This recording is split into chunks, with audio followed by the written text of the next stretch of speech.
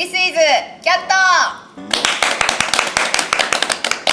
キャット。ミュージックカレッジ専門学校ダンス学科の魅力を伝えるこのコーナー。This is キャットメインで進行させていただきます。ダンス学科担任の黒田です。よろしくお願いします。コロちゃんよろしく。はい。僕はキャットダンス学科総監視を務めるマシーン原田です。よろしくお願いします。えーはいでは今回のゲストをご紹介いたします。今回のゲストはまいさんです。いやーこんにちは。MAI マイです。よろしくお願いします。さすが元気娘。ほんま元気やね。いつでも元気です。よろしくお願いします。よろしくお願いします己紹介の方お願いいたします、自己紹介。MAI マイです。改めてよろしくお願いします。まあダンサーもちろんメインなんですけどあの MC も、えー仕事させていただいております。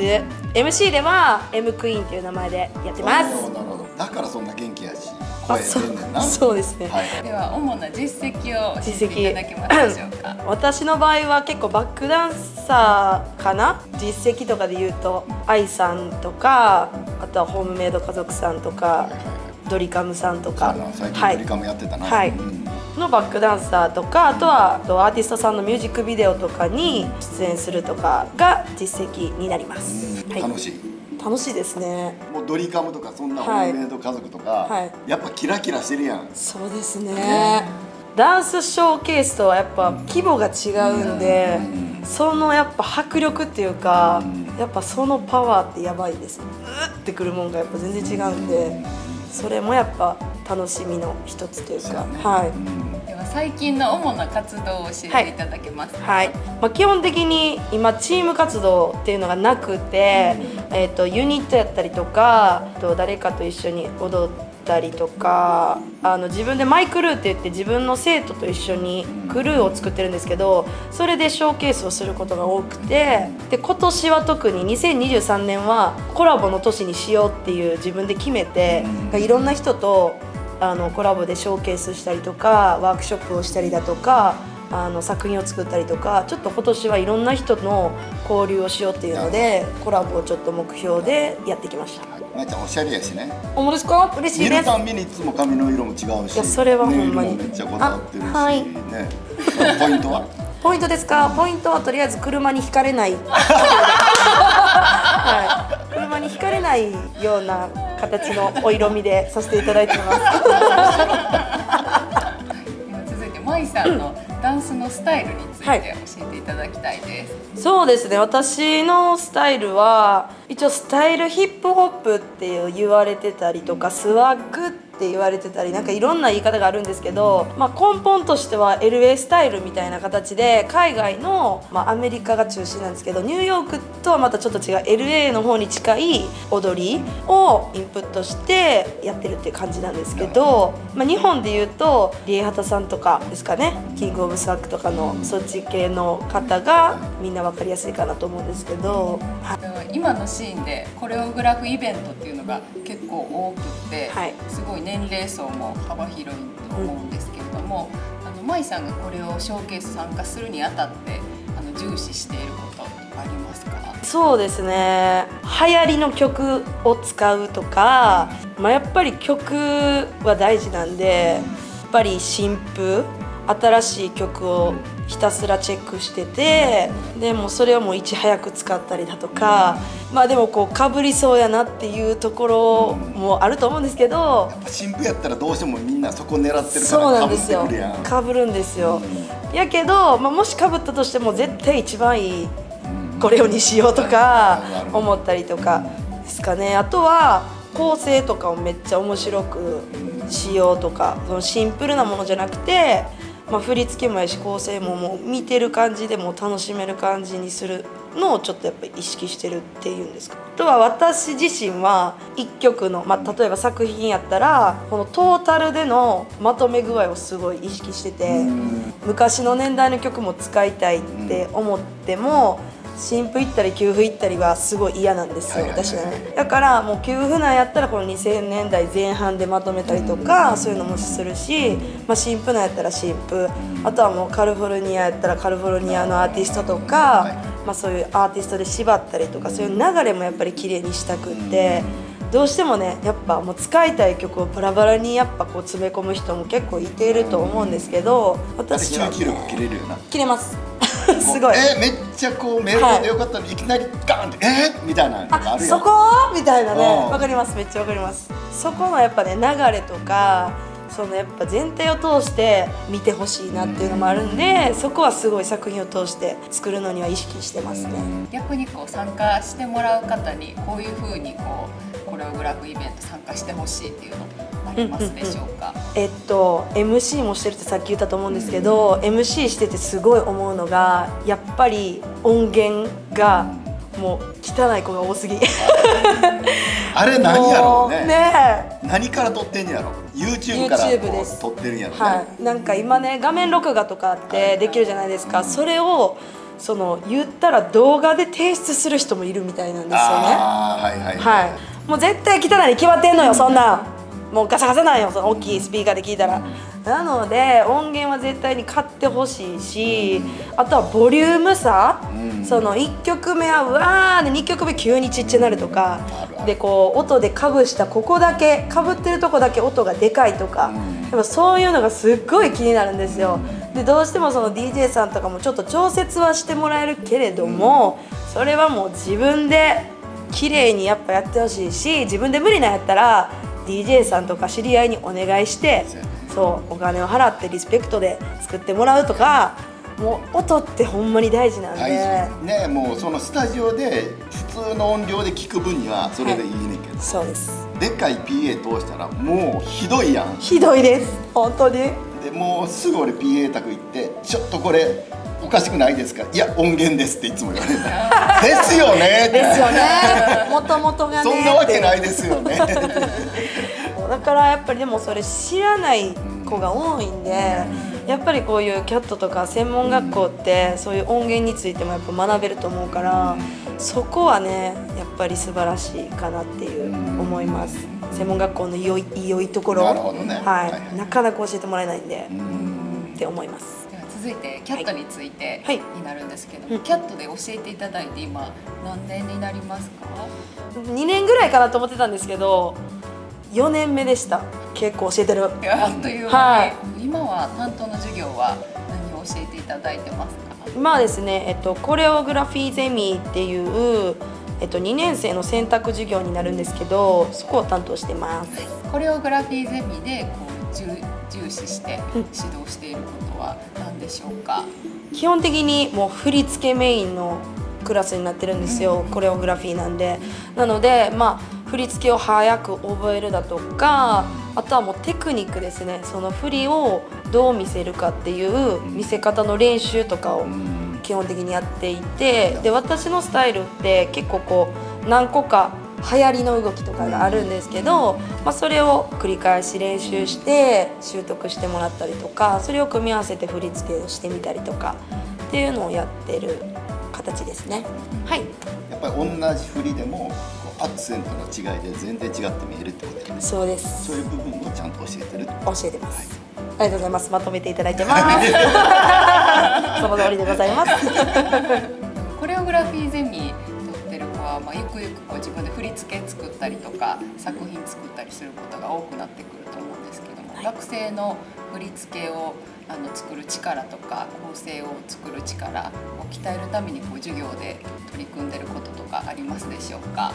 そうですね、まあ、ちょっとさっきの話と被るんですけどあの流行りの動きを教えてるのでその動きを、まあ、その音楽聴いてこの音はこの動きが合うなとかやっぱその当てはまるものを自分で選んでもらったりとかしてでそれをやっぱ組み合わせることで振り付けとかにつながっていくと思うんですけど私の、まあ、ジャンル振り付けをあの作る時にはこのこういうメインの動きからこう構成していってとか。あとは音を聞いてそのドンやったらドンっぽい動きっていうのを何種類かちょっと、まあ、教えたりもしてるんですけど、まあ、シュッとかの動きとかもその音から連想する動きってやっぱあると思うんですけどそれをやっぱりこう感覚わからないのを教えてあげて自分でその聞いた時にあこういう動きあったなっていうのを思い出して作ってもらえるように、はい、意識してます。バリエーションを増やしてもらってる感じです。そうですはい。舞さんのレッッスンといえば、はい。舞さんがまずテンションすごい高くて、あはい、もう学生たちもなんかめっちゃ授業楽しそうやなとこ本当ですか？はい、まあ釣られるよね。元気出さなこっちも元気出さなついていけないみたいいなや本当にもうそれが戦略なんで。はい戦略です。なんか舞さんの大切にしてるマインドとか、はいはい。こう学生にこう伝えたいなっていう思いとかをお聞かせいただければ。もうとにかくね楽しもう。楽しもう。もうまずこの一言に尽きるんですけど真面目すぎる子がやっぱり多いんかなとか思っててまあいいんですけど真面目すぎてすごいこうなるとやっぱ楽しめなくてどうしてもこうネガティブモードに入っていきがちなんかなって私は思っててやっぱりその楽しみながらすることでやっぱりその苦手なことにも向き合えたりとかあとはこうねやっぱ自分が楽しまないと楽楽しんでもらえないじゃないですか。見てる人にもそうですそうです。伝えないとね。はい、なのでやっぱそれはまず自分からこうマインドをね高めていかないと変わらないよ伝わらないよっていうのを、まあ、その感じてもらいながら教えてるというかはい、もう伝えるのはね言葉で伝えるのはねもう山ほどできると思うんですけどやっぱりこの体感してもらって明るい人を目の前にすると なんかこっちも明るなるなっていうのをやっぱり体感して自分もそういうね明るいマインドとかテンションになってもらえたらいいなっていうのはつ常に意識してるんではいこんな感じでハッピー人間でやらせていただいてます。それはでもめちゃくちゃ大事やで。はい大事です。どんだけ素晴らしい技術伝えても、うん。なんかこう教えられたら、うん。その子ももっとこうなっていくやん。いや本当そうです。こう教えたらああの先生めっちゃ伝わりやすかったって思って他の人にもそう伝えるから、素晴らしい。ありがとうございます。続いてキャットでの思い出深いエピソードを教えてください。一度卒業公演かな作品を作らせてもらったことがあるんですよ、はでその時がやっぱり自分的には、まあ、初めてキャットで作品を作らせてもらったんですけどやっぱみんななんか可愛いなって思いました。なんかねやっぱ一生懸命なんですよ。そうやね。そう。でやっぱ私の振り付けとかにすっごいこう向き合ってくれて細かいとこまでこうやってこうこうですか？とか聞いてもらったりとかなんか結構その作品自体取り組むの結構長めの期間でこう練習してたんですけどやっぱりね時間がある分すごい向き合う時間が多くてなんかみんなのやる気やったりとかあなんか好きになってきてくれてんのかなこのスタイルっていうのがすごい感じてきてなんかやっぱ本番見た時はね結構もう目頭熱めみたいな感じになりました。え一緒に踊りたいとかなりましたよねやっぱり。見てたんで、まあ、それがすごい覚えてます。めっちゃくちゃはい嬉しかったんで。思い入れ入っていくもんね。入ります。やっぱね1年見るってすごい仲も深まるし一人一人と結構こう向き合えるので、まあ、ダンスもそうやけど人間性とかもねやっぱこう交わっていくと1年後にはかなり深い関係になれてるなっていうのはすごい思います、うん、キャットの魅力を教えていただきたいです。キャットの魅力ですね。たくさんあるんですけど何を言おうかな？先生がまず本当に豪華なんです。本当に素晴らしいもうプロフェッショナルたちの集まりでございまして私もすごい恐縮ながら入らせていただいてるんですけれどもいろんなジャンルを間違いなく学べるのとあとはもう本当にそれぞれのジャンルのプロフェッショナルが集まってるのですごい追求できる学校っていうのもありますしあとはもうすごい設備が私は整ってると思ってるし最近はねやっぱり照明を毎時間授業で使わせてもらってるんですけどすごい雰囲気も出るんであの授業も海外のレッスンみたいな感じワークショップみたいな雰囲気であの授業させていただいてるので私自身もやっぱ楽しみながらあのレッスンできますしみんなもその雰囲気に入り込んであの授業できてると思うから私はすごく毎時間楽しくやらせていただいてます。続いて中高生の方にメッセージをお願いいたします。はい。今の中高生はねダンスうまい子いっぱいいる。めっちゃうまいます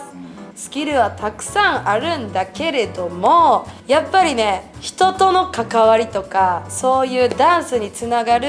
人脈っていうのかなこう人とのつながりっていうところがやっぱりまだまだこれから学んでいかないといけないことがあるんじゃないかなってすごく思うんだけど、まあ、そこはやっぱそういう学校それこそキャットとか専門学校とかでこうコミュニケーションをとるこういう先輩の先生とのこの距離感であったりとか一緒に学ぶ生徒の距離感であったりとかやっぱそういうのも一緒に学んでいくのがすごい大事になるからダンスのスキルだけじゃなくってこう人との関わりっていうのすごいあの大事になるから学んでいってほしいなと思います。はい、最後に何か告知があれば。告知ですか？いっぱいあるんですけれどもインスタグラムを見てください。はい。あのショーケースだったりとか MC すごく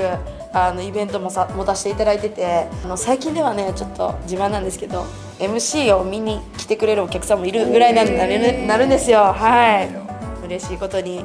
なので、まあ、ぜひ MC もあの見に来てほしいしショーも見に来てほしいしって感じなのであとはもうレッスンもたくさんやってます。インスタグラムをチェックしてください。全部載ってます。よろしくお願いします、はい。はい